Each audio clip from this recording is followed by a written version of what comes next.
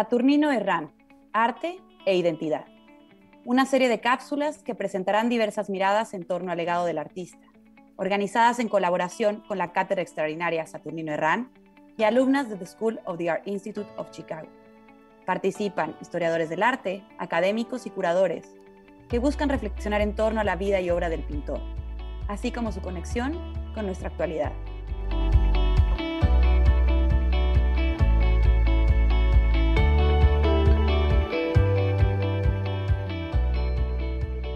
Buenas tardes, soy Angélica Velázquez Guadarrama, investigadora del Instituto de Investigaciones Estéticas de la UNAM y en esta cápsula voy a abordar el tema sobre las flores, las mujeres, los frutos y me voy a referir en particular a el rebozo de Saturnino Herrán y su tradición genérica.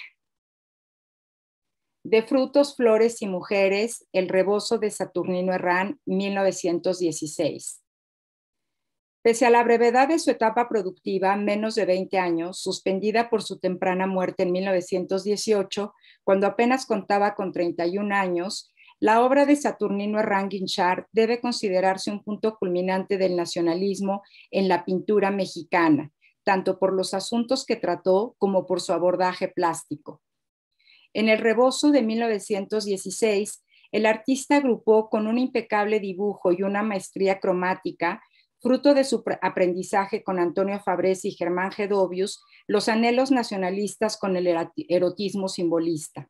Con la arquitectura del Sagrario Metropolitano y la cúpula de la Catedral de la Ciudad de México como fondo, una joven desnuda, sentada sobre un lienzo anaranjado y envuelta por un rebozo que solo cubre su sexo y parte de las piernas, para luego caer y dejar lucir el rapacejo, mira directamente al observador al tiempo que le ofrece una manzana. Sobre sus piernas se halla un cesto con variadas frutas. Hacia el extremo superior derecho se encuentran las ramas de un árbol de las que penden numerosas flores. En el primer plano, a la izquierda se encuentra el singular sombrero mexicano ricamente bordado y sobre este un maguey abierto junto a otros frutos, así como varias manzanas dispuestas sobre el suelo.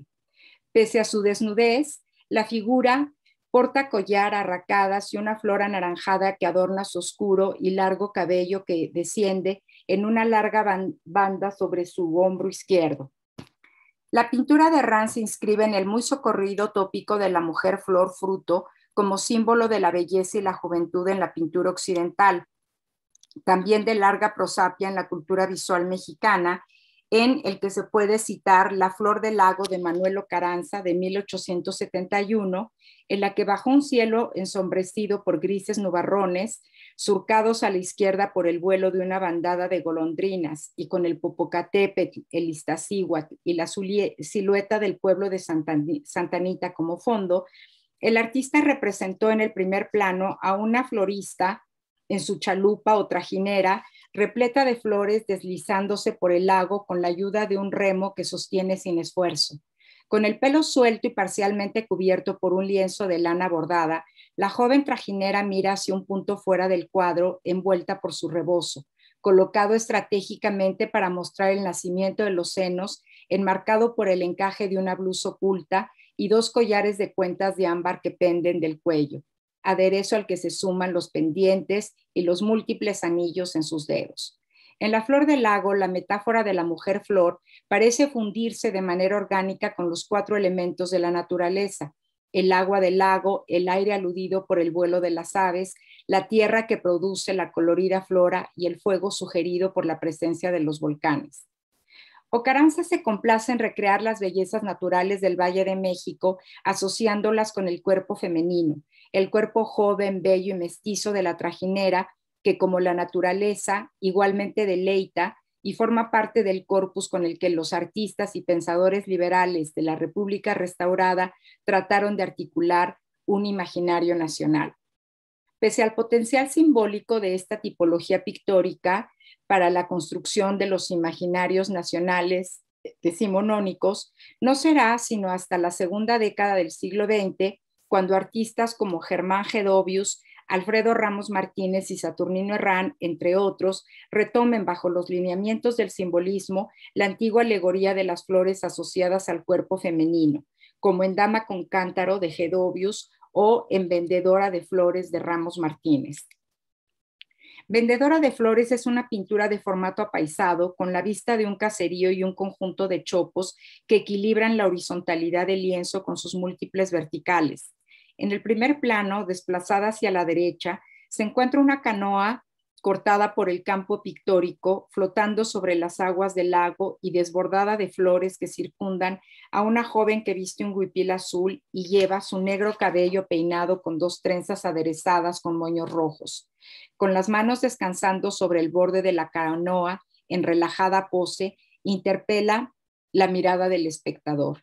Aquí el artista vuelve a la metáfora organicista de las muchachas en flor y a la consecuente asimilación de la mujer con la naturaleza elemental. Como diría Fausto Ramírez, en estrecha comunión con los ritmos de la tierra y el agua, matizadas a veces por un decadentismo a lo Verlaine o a lo Rubén Darío, como ya había hecho en la primavera de 1905.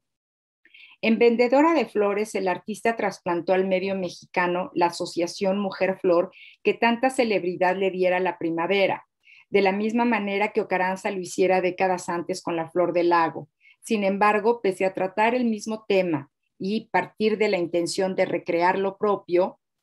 si bien en dos coyunturas históricas y políticas diversas, las diferencias entre ambas obras son evidentes no solo en la elección de la paleta, ya de por sí marcada por la peculiaridad de las técnicas empleadas por los artistas, el óleo en Ocaranza y el pastel en Ramos Martínez, lo que se traduce en un colorido pardo en la pintura del primero y diáfano en la del segundo. En las dos obras, la protagonista es una joven idealizada de finas acciones, pero mientras que la de Ocaranza es una mujer de piel morena, la de Ramos Martínez es una muchacha cuya desconcertante tez blanca, para su oficio al aire libre, contrasta con la negrura de su cabello y, de la zona ocular y, resulta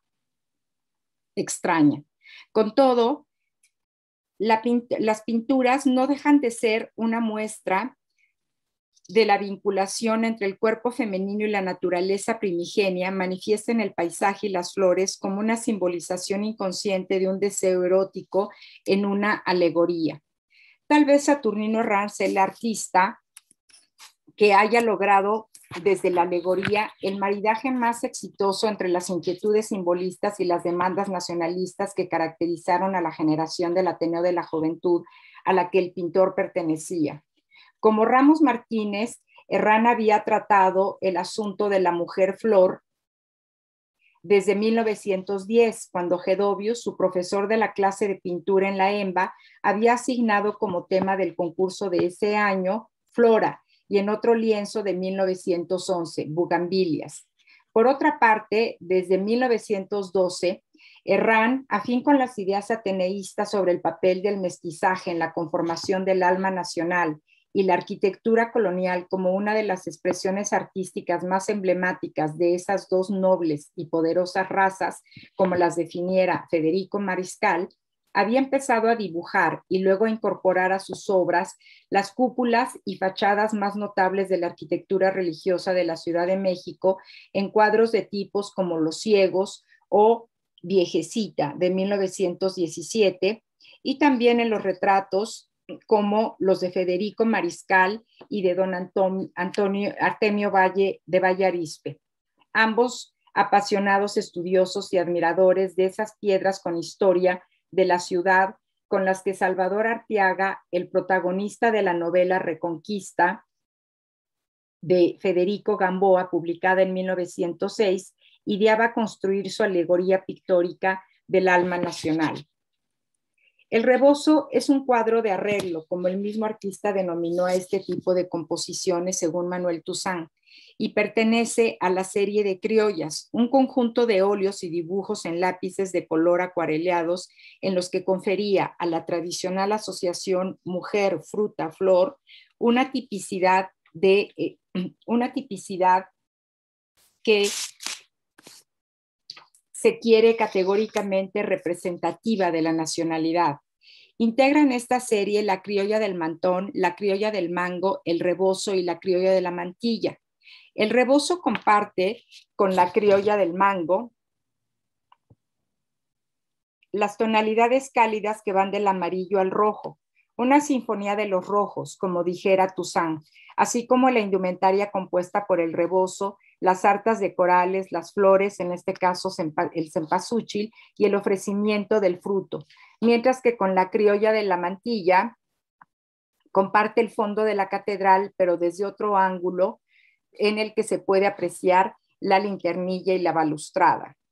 Sin embargo, lo que diferencia la criolla del rebozo del resto de la serie es la incorporación del elemento masculino, el sombrero. Así, la pintura se convierte en una alegoría nacional enmarcada en la plaza mayor de la capital, con las formas barrocas del sagrario y la cúpula de la catedral como emblemas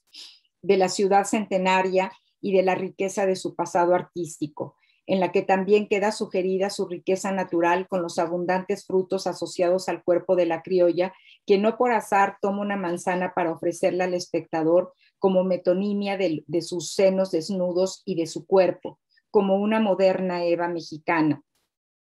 en una alegoría de lo femenino y lo masculino, expresado el primero en el rebozo de seda y el segundo en el galoneado sombrero jarano que yace a sus pies como símbolo de una masculinidad rendida, pero también activa. Desde esta perspectiva resulta reveladora la inclusión del mamey abierto e incompleto sobre el ala del sombrero como un indicador de que el fruto ha sido abierto y degustado, sugiriendo la posesión del cuerpo femenino.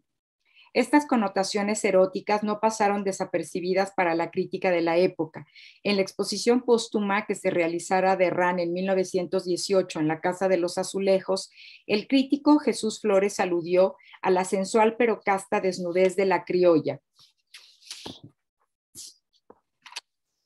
de la criolla del rebozo y a la masculinidad implícita en el sombrero, representante de un amante centinela de la protagonista, y a la arquitectura religiosa con la presencia de Dios, ambos celosos guardianes de su honra y castidad. Dice así Flores. He visto a la muchacha allí prisionera, en alguna de esas calles, pero no la había visto en su desnudez esplendorosa, abandonada en una ensoñación muda e interrogadora, pronta a ruborizarse si algún discreto la mirase con ojos de codicia. Ella bien sabe que toda entera, con todos sus encantos, toda esa carne ambarina y rosada palidez, incitante como un fruto maduro, pertenece a su viejo, es de su hombre, del charro orgulloso de largos y descuidados bigotes cuyo sombrero está a sus pies. Sí, solo el poseedor de ese sombrero galoneado reina en el corazón ingenuo que asoma tímidamente por la mirada llena de ensoñador y voluptuosa languidez de la muchacha su abandono no es forzado y así su desnudez casi resulta casta. No tendría más que faltar a la palabra dada al charro confiado para que la maldición celestial la persiguiese, y ella tiene mucho miedo a las iras celestiales. Dos imágenes guarda en su mente, la de su viejo y la de Dios, y el atavismo las ha grabado también, que resultan muy celosos guardianes de su honra y castidad. Herrán, maestro en la psiquis de nuestras mujeres, puso junto a la desnudez de la mujer ingenua las churriguerescas filigranas del sagrario y el sombrero del charro, del dueño y señor, y así ha logrado ponerla cubierto del temor de verse sorprendida por miradas cínicas, y su abandono es tan completo como natural.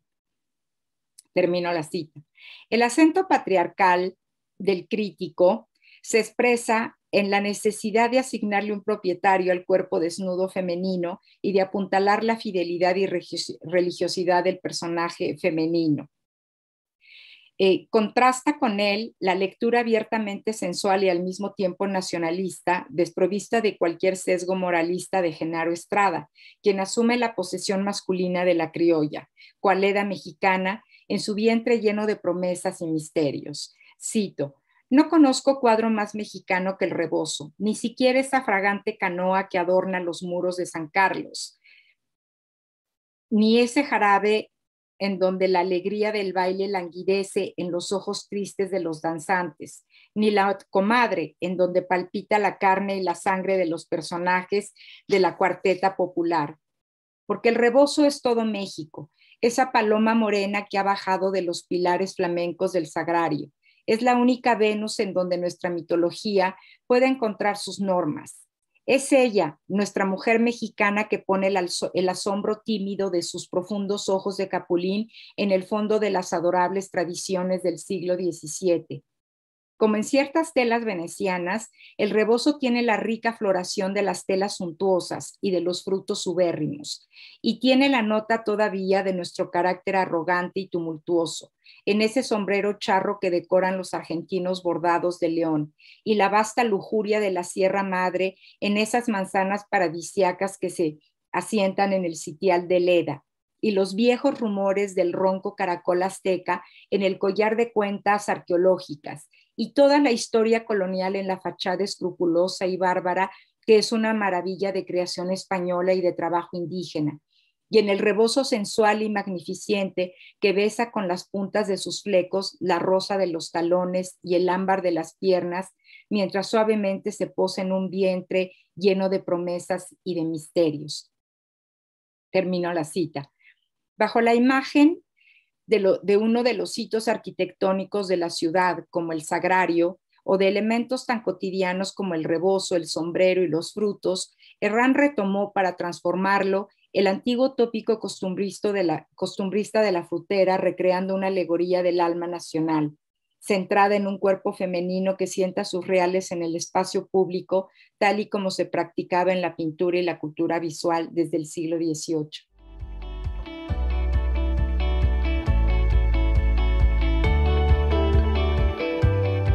Espero que esta cápsula haya sido de su interés y los invito a ver las cápsulas siguientes sobre este extraordinario pintor mexicano que fue Saturnino Herrán.